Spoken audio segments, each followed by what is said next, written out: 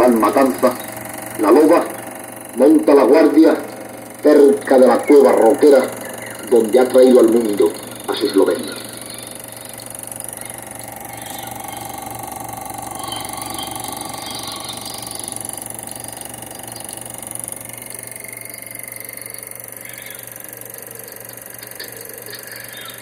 En el alto y tupido Sabinar, la loba tiene a salvo a sus pequeños se limita a vigilarles y amamantarles esperando la llegada del macho que está cazando seguramente muy lejos.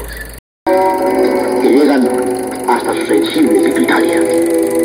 Y los lobernos, seguramente también por una memoria de especie, se están muy quietos, solos, tomando el sol de la mañana en la altiva lobera.